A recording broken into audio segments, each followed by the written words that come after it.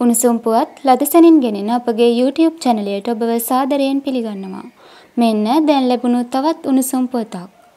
විශේෂ පක්ෂ නායක රැස්වීමක් ලබන 20 වෙනිදා පැවැත්වීමට නියමිතයි. පාර්ලිමේන්තු සංනිවේදන දෙපාර්තමේන්තුව සඳහන් කළේ එදින පෙරවරු 11ට කතානායක මහින්ද යාපා අබේවර්ධනගේ ප්‍රධානත්වයෙන් මෙම රැස්වීම ආරම්භ වන බවයි. අලුත් අවුරුද්දෙන් පසුව පැවැත්වෙන පළමු පක්ෂ නායක රැස්වීම මේ වනවා.